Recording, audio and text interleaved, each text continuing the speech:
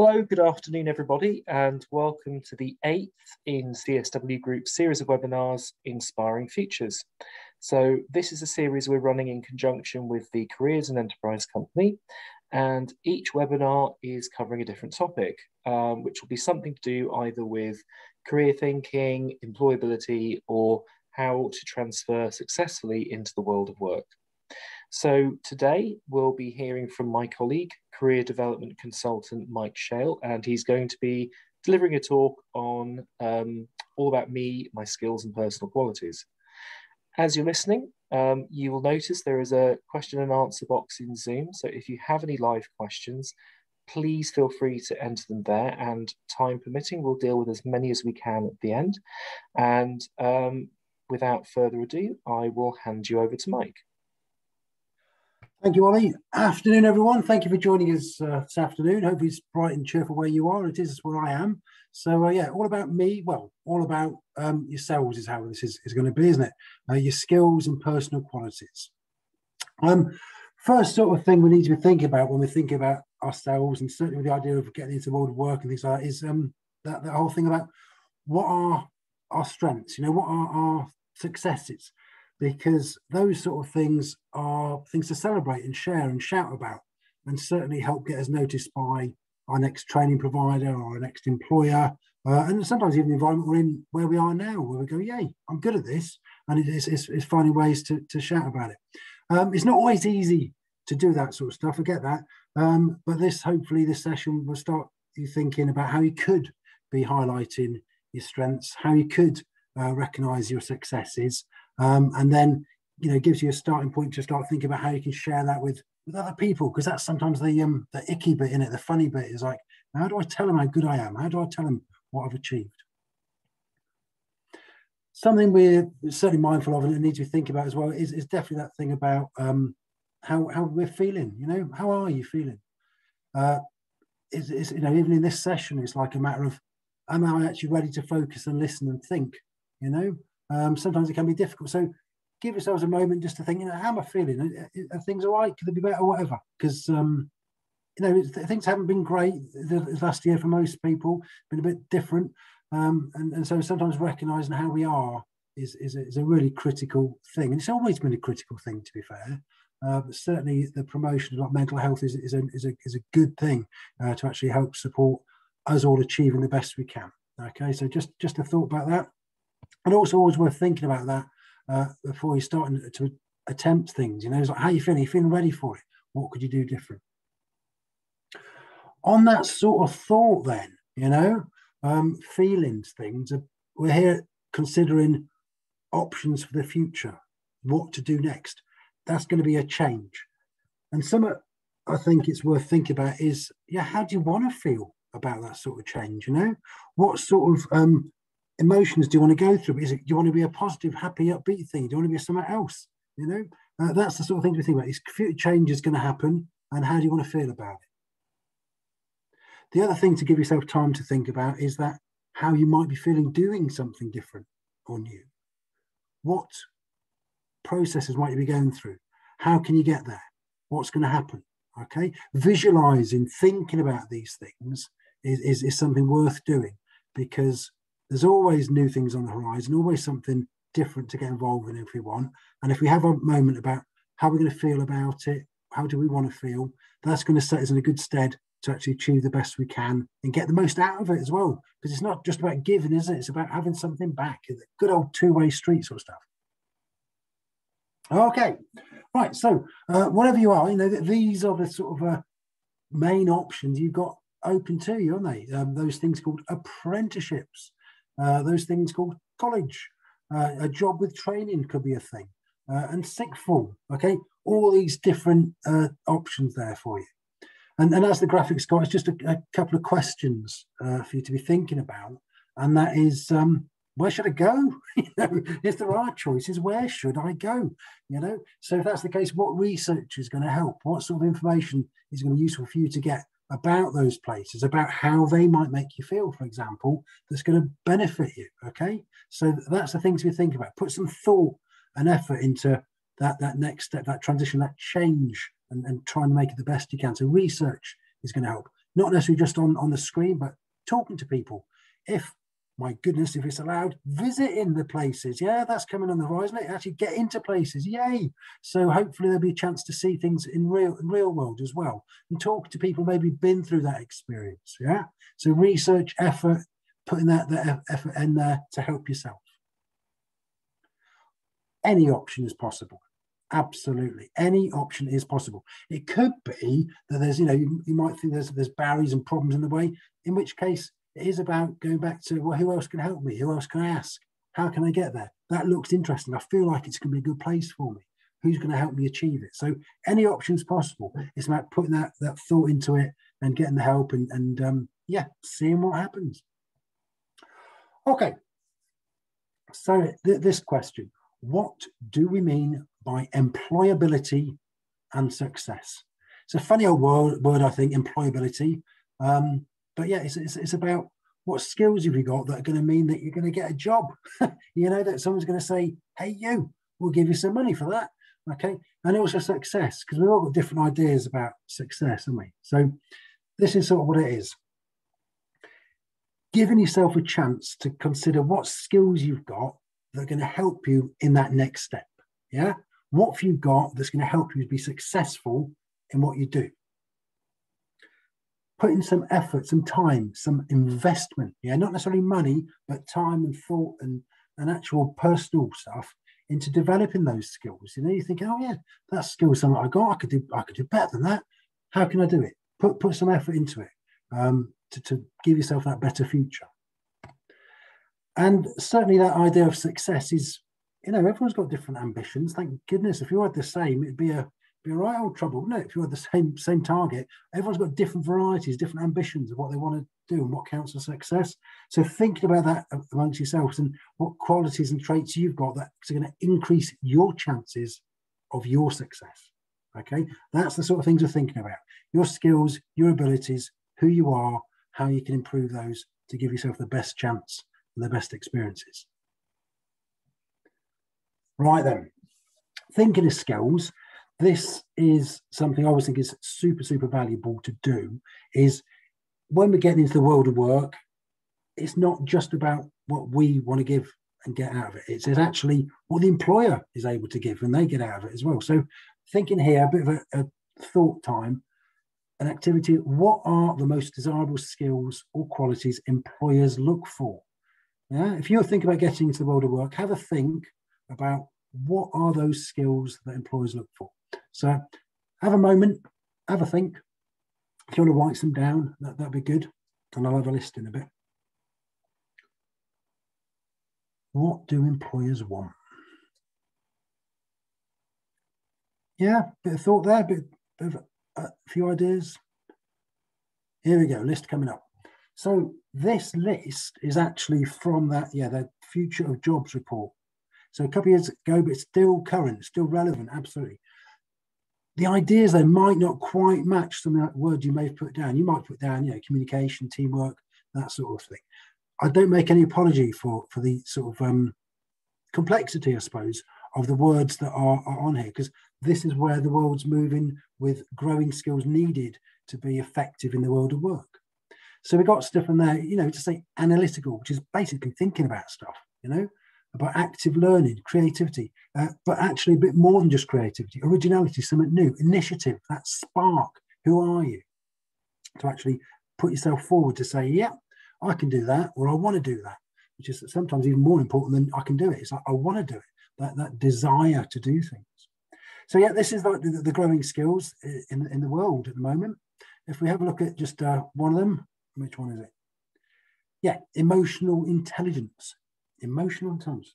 What the heck is that? Well, that's actually that whole idea of being able to manage and control our emotions and, and help them work them in a positive way. So they were helping maybe other people, actually maybe uh, communicating in effective ways so that people can understand uh, our point of view and we can think about their point of view. That empathy is really important as well. And it's, it's about just, you know, sh- sharing ways to, to achieve stuff as, as a human being, I suppose, is what it is, because it's you know, emotions are are pretty much what help make us human. But emotional intelligence definitely needed in the world of work. Right, couple of facts. you're probably aware of these, but I'm just highlighting them. Um, people change jobs over their lifetime. My goodness, yes, they do.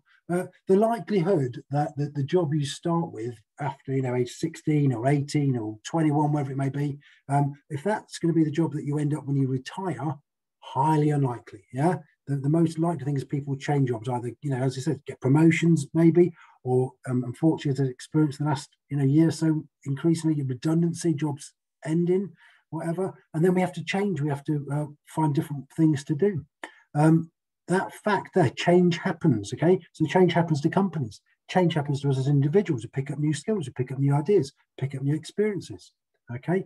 Uh, and the other fact there, what we've got there, COVID has changed how people can work. Really? Yeah, absolutely, really. Because um, you look at the retail world, hospitality world, um, what I'm doing now, you know, so many companies now are using things like, you know, webinars, online stuff to connect not only with their customers, but also with their team, the actual people that are delivering, sharing ideas uh, in the virtual world has massively changed. Okay. And it's also opened up amazing opportunities, not only for Zoom, but for, you know, other companies as well. So you, you look at, um, yeah, I know COVID specifically, medical companies, you know, they, they've had big, big increase in opportunities. So change happens and change isn't always bad.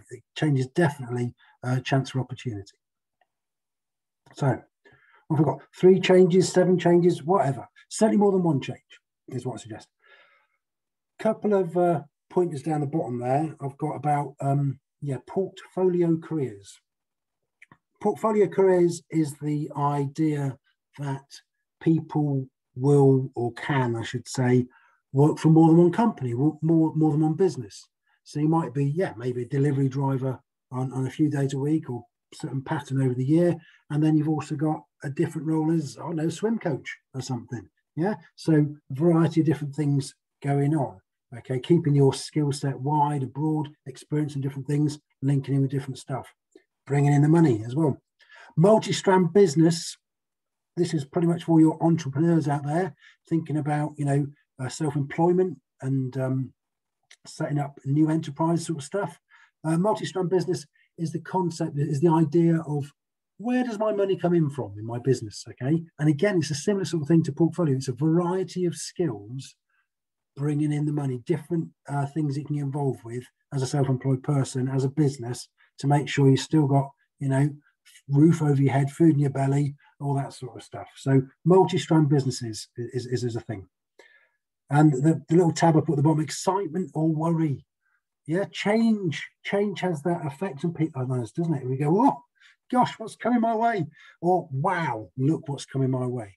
Okay. And it's relevant again, be thinking about those feelings, thinking about those emotions, about where you are with that and where you want to be with that.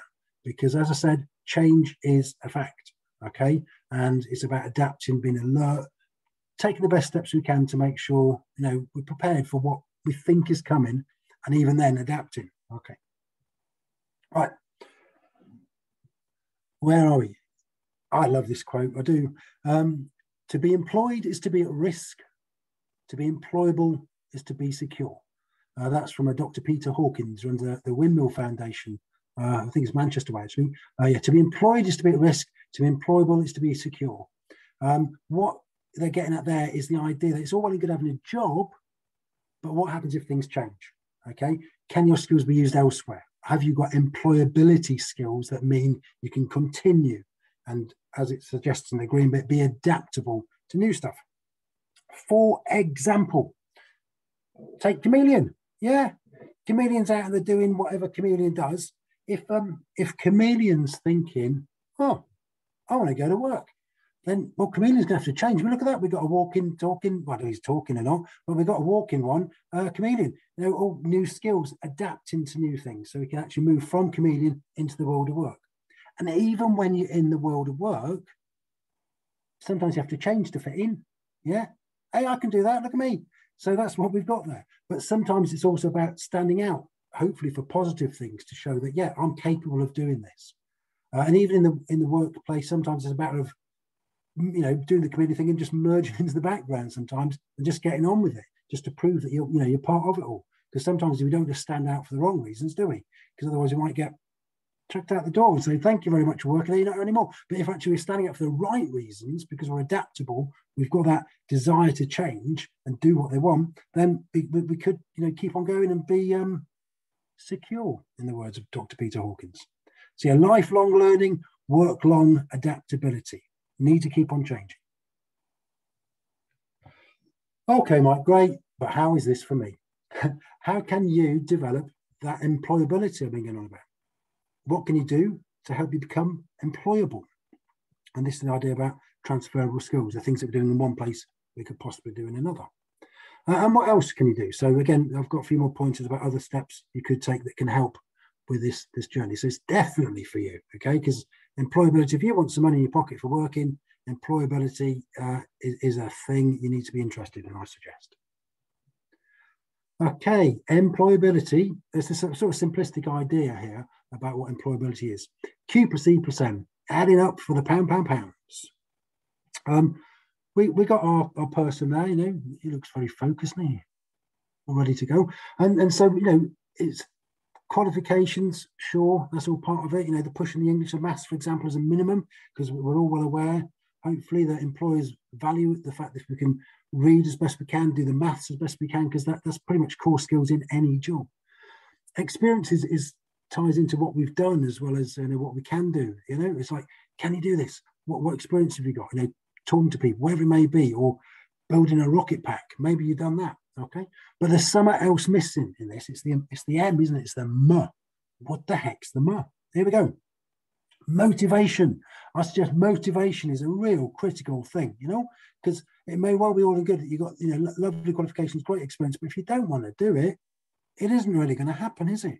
If you don't want to do it, the employer's not really going to be that interested either. Why should they be? So you've got to have that oomph factor. You've got to have that fire to actually demonstrate your, your, desire to to get on and do things. Okay. Otherwise, he's out there staring at the horizon, nothing there. I reckon he might go somewhere, don't he? He might do. Okay. It's more than qualifications, what I'm saying. So you got you have got qualifications for sure. Also, experience comes into it. What you're doing, what you're going to do, um, and motivation.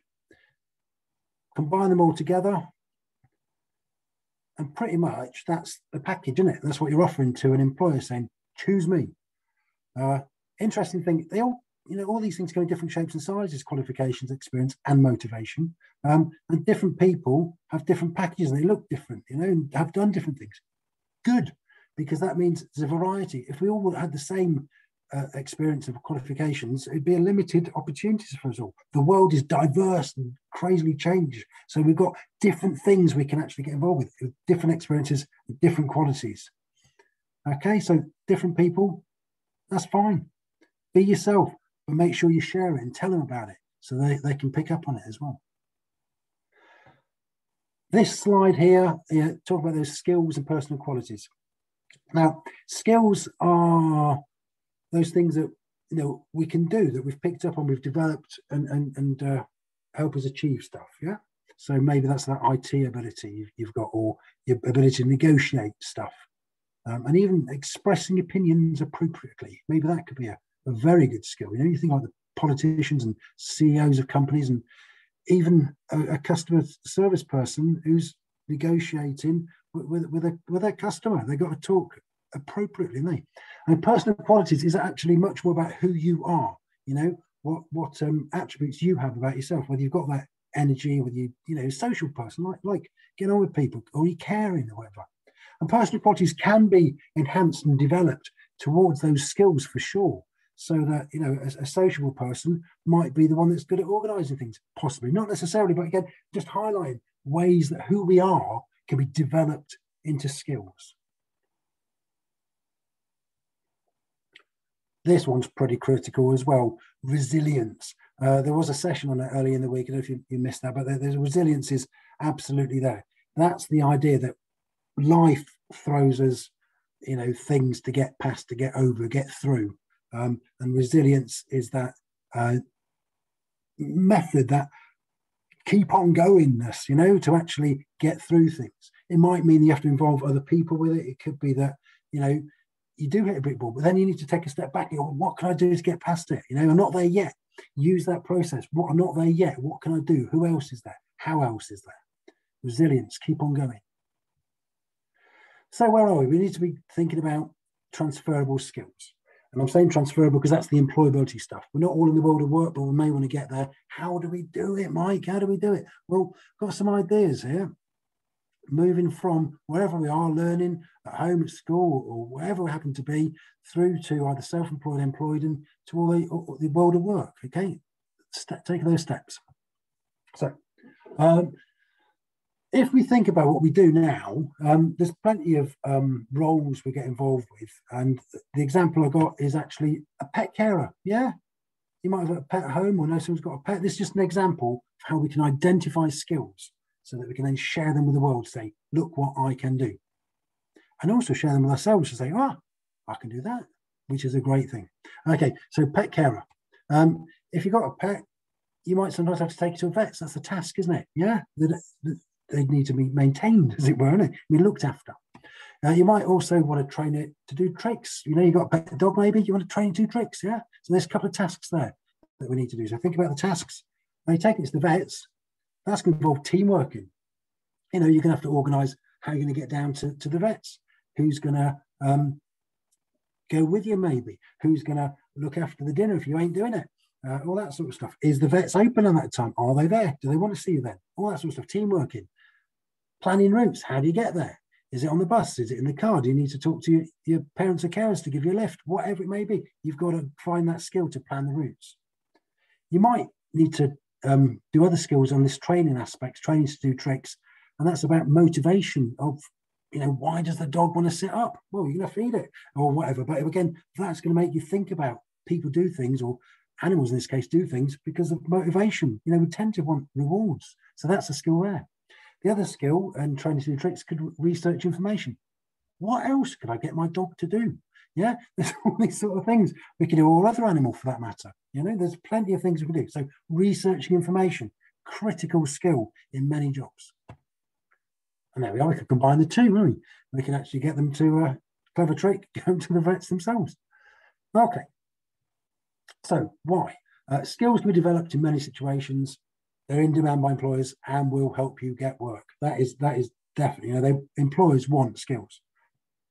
And you need to take time out to think about the skills you've got, um, the ones you currently have, and also the ones that you might need for the environment you want to be in, and also the ones you want to have. And alongside that, as I said at the start, think about how you're feeling about when you're going to be going through that change, that developing stuff. That's totally and utterly valid. You need to be thinking about that. Uh, and then they need to apply it because it's all well and good thinking about it. It's then putting it into action and doing something about it, isn't it? Yeah, that's the thing. So this is how we could do it. There's a, a site they may come across the apprenticeships website, live vacancies. You can get, get on there, see what vacancies are out and about, uh, and, and apply. But in the process of applying, they ask these sort of questions and this sort of one. What skills would you like to improve during this apprenticeship? Oh my goodness, that's what we've been looking at. Skills, haven't we? Yeah. And then thinking how we can change what we want to improve on. Okay. And they want you to talk about it. So if you haven't thought about what skills you got, it's going to be difficult to say, well, what skills do I need? So, you know, these are the sort of example things that happen on application forms, and that happen on uh, even in interviews as well. So, you know, put that thought to it. Think of interviews, some examples of interviews, questions. Can you tell me about a personal achievement you're proud of? So that'd be exploring your communication skills, maybe, you know, to be able to share it and, and stuff. Please describe a situation where you had to overcome a barrier to achieve something. The problem solving, that analytical stuff we mentioned earlier. Okay, these sort of skills are needed, and they're also not just used in, in, in the world of work. You use them in school and in learning now. Uh, what motivates you to do well? That's a good question, isn't it? I know what does motivate me, but you know you need to be thinking about those sort of things because they want to know because they're like, how can we get the best out of this person? How can we give them the environment so they're going to succeed? Uh, what would you do if you had to deal with an angry, upset customer? Oh my goodness me! Yeah, that's the sort of thing. Again, um, emotional intelligence sort of stuff, isn't it? That customer focus, thinking about other people's per- perceptions and their ideas. Uh, a few um, ideas as, as, you can explore these extra bits. To do it is like a, a volunteering site. Uh, not all volunteers in the real world, some of it is virtual. There's stuff on there like that as well. National Career Service is a background information to jobs. Career Pilot, I know many schools got access to that and it's free access anyway. Uh, some people use Unifrog, that, that, that, works well, but there's, there's plenty of them out there. Um, and I got to mention our site, our CSW Group site. There it is. It's, it's been updated actually in the last couple of weeks. And um, there we are, a little uh, shot of the screen. To go on there, there's links uh, that may help as well. Okay, uh, time done. Thank you. So it's about any questions, and if you want to type them into the the, screen of the Q and A bit, if you have got any questions, and um, we'll see where we go. Thank you. Thank you very much, Mike. Um, tons and tons of information in that presentation. I thought it was it was really really helpful, and I hope it was for those listening at the moment. Um, I'm looking at the Q and A. There don't appear to be any specific questions just yet. Um, I think one I was thinking about was um, let's say perhaps if a young person listening was thinking about their skills, their personal qualities, you know, the, fit, the those qualities that they would need to talk about if they were applying for a job, maybe, but maybe they were struggling to identify their personal skills. Where do you think they might be able to go for help with that? Yeah, no, that, that's that's a good thing. I mean, um, you could obviously go to a, a, career development consultant or careers advisor. They could help you with a, a question session there. Uh, using other people, teachers, tutors can sometimes help. Parents, family, uh, friends. Sometimes again, it can be a bit of awkward questions to be asking people to go, "What am I good at? You know, what skills have I got?" Yeah, but ask those questions. You get some information back that hopefully will surprise you and give you a chance to do it. There's um on that site like that career pilot I talked about. There's questionnaire as well on there's like quizzes that can help identify things that can help. And even looking at um, you know jobs that you're interested in that invariably have like skills required. And sometimes you can read those and think all right I, I, like doing that you know which could be you know working a computer or talking to people or whatever. So sometimes just looking at um, core um, attributes and, and, ideas for what jobs need actually help list skills which we can then start thinking about as i mentioned in, in the presentation about what does that mean you know so there's many many ways um, that sort of stuff could be obtained i'd say that's brilliant thank you very much so um, i don't think we've got any other particular questions so thank you very much for that mike um, so we now have uh, one webinar left this week. That's tomorrow's um, employer question and answer panel. So if you are at all able to, please, please come to that. Um, if anybody does have any questions that they wanted to ask and didn't want to ask live, that's the email address to send them to careerquestion at cswgroup.co.uk and we will respond to you directly. Um, there will be a questionnaire, feedback questionnaire in a moment that will pop up. It would be very much appreciated if you could take a moment to complete that uh, we love to know what we're doing well with these webinars and if there is anything at all we could possibly improve. So thank you once again for attending and thank you very much also to Mike. Okay, thank you, Ollie. Thank you, everyone. Cheers.